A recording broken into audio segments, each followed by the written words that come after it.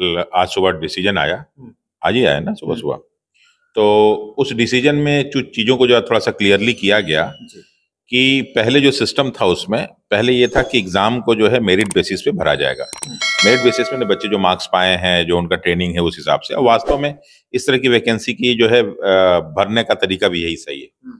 उसके बाद सरकार ने क्या किया कि तकनीकी परिषद को जो है परीक्षा कराने की ज़िम्मेदारी दे दी हम्म। और उसने क्या किया कि मेरिट बेसिस न मान करके एग्ज़ाम कंडक्ट कराने की बात कही। उस पर बच्चे कोर्ट में गए।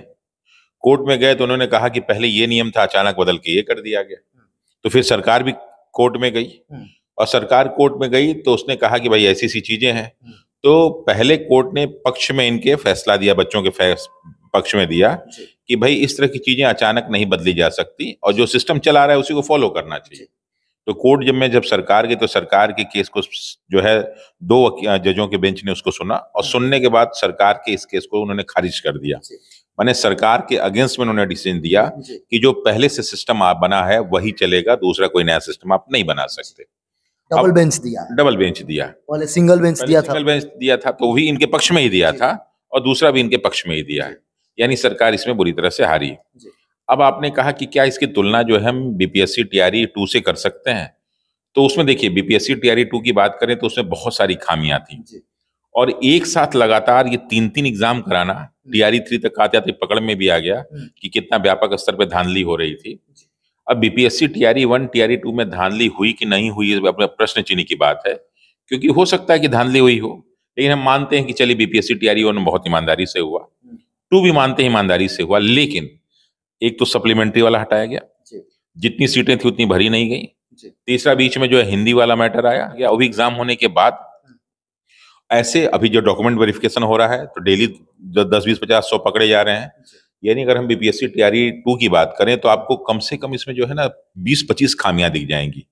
तो अगर बच्चे इस मुद्दे पे कोर्ट में गए हुए हैं और इन सारी खामियों को गिना देंगे तो मुझे विश्वास है कि बीपीएससी टीआरई टू में रिज़ल्ट को लेके उसकी ज्वाइनिंग को लेके बहुत सारा प्रश्न चिन्ह उठ सकता है अब कुछ लोग कहेंगे सर ज्वाइनिंग तो हो चुकी है हम्म। तो ज्वाइनिंग तो बंगाल में भी हो गई थी 2016 में छह साल से छह साल से सात साल से लोग नौकरी कर रहे थे तो उनको सिर्फ़ और सिर्फ़ हटाया ही नहीं गया उनसे कहा गया कि सूद ब्याज सहित आप पैसा वापस करेंगे वेतन जो है वापस करेंगे हम्म। तो ये कोई बहुत बड़ी चीज़ नहीं होती है हम्म। हाँ कोर्ट कोशिश करती है कि जो लोग ज्वाइन कर लिए हैं और जो है नेचुरल जस्टिस के अगेंस्ट कुछ ना हो।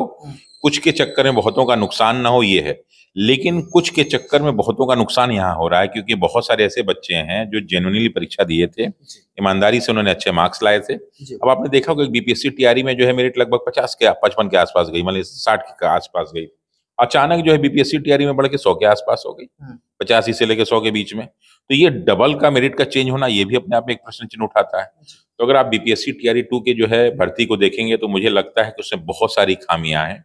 और अगर बच्चे इस पे प्रॉपर ढंग से वकील के साथ जाके अपने तथ्यों को रखें तो मुझे लगता है कि उनकी एक एक बात सुनी जाएगी और मुझे लगता है कि उनके पक्ष में डिसीज़न आएगा ही आएगा। सर दो जगह जिस तरीका से डिसीज़न आया बिहार में पटना हाई कोर्ट के द्वारा एनएम वाला डिसीज़न दिया गया और बंगाल की जो आप बात करते हैं क्या इनके जो बच्चे के वकील होंगे ये दोनों को कोट कर सकते हैं बता सकते हैं क्या ये भी उनके लिए कड़ा रुख अपना सकता है। हाँ बिल्कुल देखिए जब भी क्या होता है ना वकील जब भी जाता है किसी कोर्ट में किसी केस के लिए तो देखिए ये केस का सिस्टम है।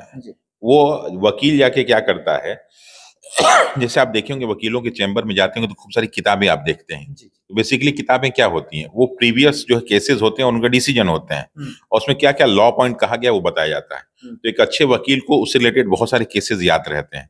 तो वो जब भी जब कोर्ट में जाता है तो अपने उन्हीं सारे केसेस को जो है वहाँ पे जो है बताता है कि साहब ये ये ये ये ये केस हैं उसको कोर्ट करता है और उसमें ऐसा ऐसा डिसीज़न दिया गया था उसमें मसला ये ये था हम्म। तो उसी तरह इस बीपीएससी टीआरई टू में भी बहुत सारे ऐसे मसले हैं जो ऑलरेडी हो चुके हैं हम्म। और उस आधार पे बहुत सारे एग्ज़ाम कैंसिल हो चुके हैं अब आप कहेंगे कि क्या सरकार नहीं जाएगी हम्म। मुझे लगता है सरकार तो जाएगी निश्चित रूप से जाएगी सरकार के अपने पक्ष रखने के लिए लेकिन जिसमें एग्ज़ाम हुआ था, उस समय कोई और सरकार थी और इस समय कोई और सरकार है। तो इन सब चीज़ों को लेके मुझे लगता है कि अगर बच्चे अपनी बातों को दृढ़ता के साथ रखें, वकील लोग इन सारे के सारे लेटेस्ट फैसलों को भी उसमें रखें तो मुझे लगता है कि बच्चों की जो है विजय होगी। सर, इसमें दो प्रक्रिया नहीं हो सकता है। क्या ये भी हो सकता है कहीं कोर्ट के द्वारा बोला जाए कि जो ज्वाइनिंग किए हैं, उसमें देखा जाए कि हिंदी में कौन पास है या कौन फेल है, या फिर से जो टोटल सीट है उस पर रिज़ल्ट दे दीजिए। बहुत सारा कंडीशन बन सकता है। देखिए देखिए जैसे एक पहला तो मसला आपने हिंदी बोला। जी। तो सिर्फ़ हिंदी वाला मसला नहीं है। इसमें कई और मसले भी हैं कई और समस्याएँ भी हैं। अब आपने जैसे कहा कि हिंदी वाले हम इशू को उठा लें कि भाई जो हिंदू में फेल हिंदी में फेल है उनको हटा दीजिए बाकी लोग को रखे रहिए। तो जब हिंदी वाले हटेंगे तो लोग और भी रखेंगे कि साहब ये भी भी कारण है ये भी कारण है ये भी कारण है तो इन सब सभी कारणों को देखिए। उसके बाद इनको लीजिए। हम्म। तो लेकिन फिर भी कोर्ट क्या करती है ना कि सब चीज़ को संज्ञान में लेती है कि कौन सी ऐसी चीज़ है जिससे लोगों का नुकसान नहीं हो कौन सी ऐसी चीज़ है जिससे अधिक से अधिक लोगों का फ़ायदा हो तो उसके हिसाब से डिसीज़न लेती है लेकिन मुझे लगता है हम्म। कि बीपीएससी टीआरई टू में बहुत सारे प्रश्न चिन्ह हैं हम्म। और अगर इसको कोर्ट में ठीक से लड़ा जाए तो बच्चों के फेवर में कई तरह के फैसले आएँगे उसमें हम्म। सप्लीमेंट्री रिज़ल्ट से लेके हिंदी को हटाने से लेके मेरिट से लेके हम्म। और जो सीटें खाली रह गई उनको इन सब चीज़ को लेके बहुत सारे जो है डिसीज़न उनके फेवर में आ सकते हैं सर एक जो ये है कि जो बच्चे उसमें जा रहे हैं जिनका मान लीजिए मार्क्स था क्वालिफाइंग कर गए थे जिनके पास कट ऑफ़ भी था फिर भी उसमें part one part two part three cut off दिया गया अलग अलग सब्जेक्ट का ये सर ये सब कट ऑफ़ भी प्रश्नवाचक चिन्ह बिल्कुल देखिए कुछ भी जो है ना बीपीएससी टीआरई वन जैसे हम लोगों ने देखा था टीआरई टू भी देखा हम्म। इसमें तो मतलब समझ लीजिए कि एक ऐसा गेम था जिसमें कोई रूल ही नहीं था हम्म। मतलब गेम की जब शुरुआत हुई तब तक जितने रूल बदल सकते थे इधर कर दो उधर कर दो हम्म। उस समय बस एक ही लक्ष्य दिख रहा था कि अधिक से अधिक लोगों को रोज़गार दो।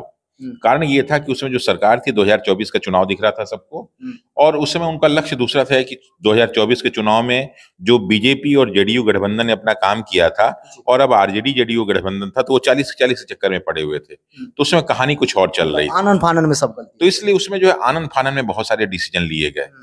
अब उसमें जब भी कोई प्रशासनिक डिसीज़न लिया जाता है तो वो अपने आप नहीं होता। उसमें कहीं ना कहीं जो है ना आपकी जो है पॉलिटिक्स भी शामिल होता है। हम्म। तो इस समय डिसीज़न उस तरह के लिए गए और चूँकि हमारे जो चेयरमैन साहब थे कुछ दिन रहे उसके बाद हट गए उनको उनको रिटायर होना था। हम्म। तो उनसे उन पे भी खूब सारा दबाव रहा होगा कि भाई ये कर लो ये कर लो कर लो। हो सकता है वो दबाव में काम किए हों। हम्म। लेकिन ये जो समय समय पे क्रमबद्ध ढंग से कई प्रकार के परिवर्तन किए गए।